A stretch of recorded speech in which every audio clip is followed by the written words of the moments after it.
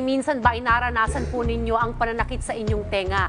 Yung iba po nararanasan ito kapag sumasakay sa eroplano at marahil may iba pang dahilan kung bakit po nararanasan po ito. Alright, ngayon, kung di mo alam kung ang sagot dyan, yan po ang pag-uusapan natin ngayon. Kasama si Dr. Maria Rosa Santos, isang ENT specialist. Good morning, Doktora. Welcome to Rise and Shine Pilipinas. Hello. Good morning Hello. po. Alright. Ah, Dr. Santos, ano po Good ba ang morning. karaniwang dahilan ng ah, sakit po ng tenga at bakit po ito sumasakit? Ano po ang mga rason? Uh, the usual um, cause ng sakit po, um, usually, well at least sa clinic ko, usually nasusundot ng mga ating mga cotton buds or anumang panglinis ng tenga. Minsan rin po may earwax na pwedeng magbara sa tenga and then nagkukos ng pressure at pain. Or minsan, an- yun nga, parang nasusugatan po. So, yun yung mga common causes na nakita ko sa clinic po.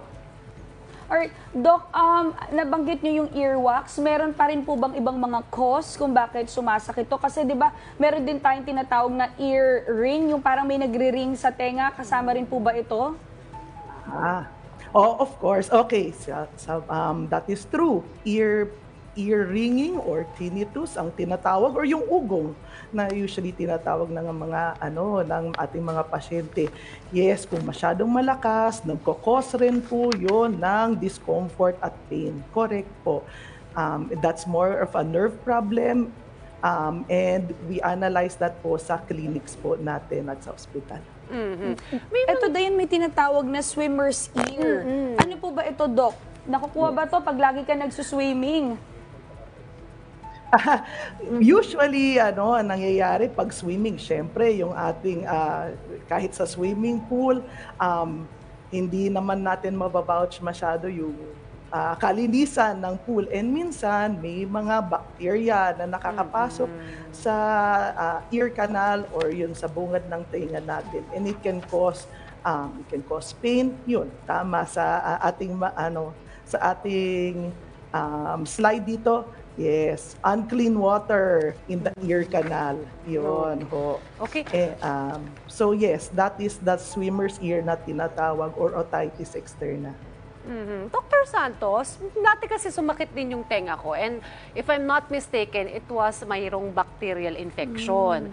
Um, naalala ko noon, tama ba, minsan parang nakaka-apekto rin sobrang paggamit ng ano, earphones na dito nakasiksik sa ating tenga. Na, in compare dyan sa suot ninyo, parang mas okay atang gamitin Yes. yan eh. Kasi nung pandemic, lagi tayo naka-virtual. So meron tayong mga earphones. I don't know, may talaga bang meron yung epekto sa ating tenga, Doc? Actually, for any earbuds, yung dinidescribe nyo, yung nasa, yung malapit sa ear canal, or yung ear muffs, kung masyadong matagal ginagamit, of course, it can cause pressure and put pressure ho sa cartilage or yung, yung support yung support na nagsha-shape ng tenga natin. So yes, that can cause pain kung masyadong matagal or masyadong madalas nagagamit, katulad ng pandemya po. That is true. Meron tayong phone-in question sa ating floor director. Ako okay lang ba na magsuot? ng mga headset. Headset, Oo. okay lang po ba yun? Sabi ni ata ni Doktora, as long as hindi matagal Ayun. gagamitin, that should be okay. Tama po ba, Linisin Dok? din siguro palagi. Yes. Yes, yes, that is true. Kung masyadong Kinabahan po matagal. kasi ang aming yes, assistant or director too na much laging may pressure, suot masyadong ng masakit, headset. pwede. Oo, baka sumakit din yung Correct kanyang po yun, tenga. Doktora, ano ba yung mga signs na kailangan na natin magpatingin sa doktor?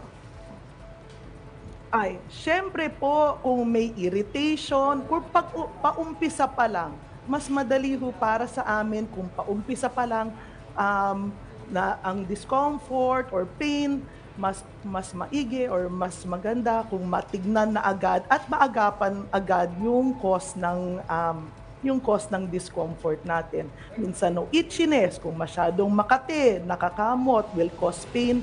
If there's any irritation na hindi nagre-relieve or hindi naaayos agad, mas okay na po magpatingin sa inyong ear, nose, throat, ENT doctor po. Kompleto na, EENT. Correct. Dok, ito gusto ko rin malaman din. Dok, ano ba yung um, check na or test na kailangan sa tenga Yun ba yung simpleng titingnan lang ng doktor o may iba po pang test na kailangan gawin? Um, of course, mas okay, Ms. Diane, na tigdan yung salamin ng tema, tenga. So, syempre, otoscopy or yung pag-examine sa outer at saka sa ear canal. But if there are other problems, kagaya ng hearing loss or yung na-mention nyo po kanina, ugong or tinnitus, other tests po are needed like a hearing test or other um, tests that your doctor would need po to clinch your diagnosis po. Mhm. Yung sa vertigo naman, Doc, may kinalaman po bang problema sa tenga? Yes, of course. Kasi ho, ang sensor or ang um, responsible, one of the uh, um, one of the anatomical areas that are that is responsible for balance ay nasa likod lang po sa sala, ng salamin ng tenga. So anything um, trauma can actually um, uh, affect balance or yun nga yung tinatawag natin loss of balance or sa ano madaling salita vertigo um, of in ear infection can also um, cause yung hilo or vertigo um, and of course other problems po more of the brain more of the nerves that can cause vertigo also and it is always important na yung doktor ninyo ang mag-sort out or mag-differentiate kung ano talaga ang sanhi ng hilo.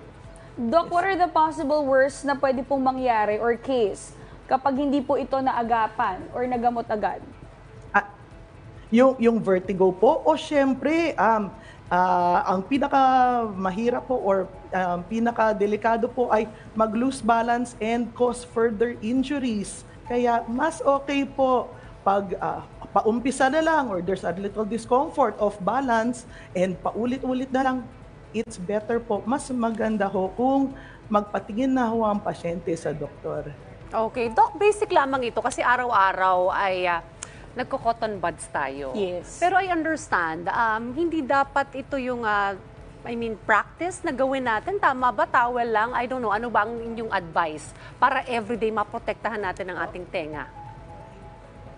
Okay, yes. Ah, tama kayo, Ms. Kayanda. Um, use at ano, yung cotton buds, some of our doctors, ayaw kasi baka matraumatize. Because to be honest, the ear, the ear canal, self-cleaning po yan. Automatic yung flow ng mga earwax natin or tutulin natin, palabas talaga. Yun yung flow.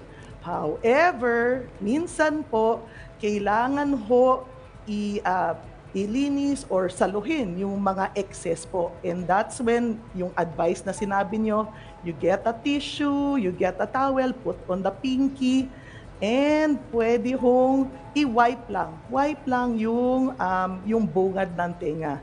Um, yung mga earbuds, sige, hindi naman talaga maiiwasan and other patients, other people, ang mga viewers nyo, talagang yan yung kahabit. So yung advice ko na lang ho dun, ingat-ingat lang, sa bungad lang po kayo, sa first part lang ng tenga. Huwag naman ipasok all the way hanggang sa eardrum or baka maka ano, maka-injure or even makabutas ng salamin ng tenga po.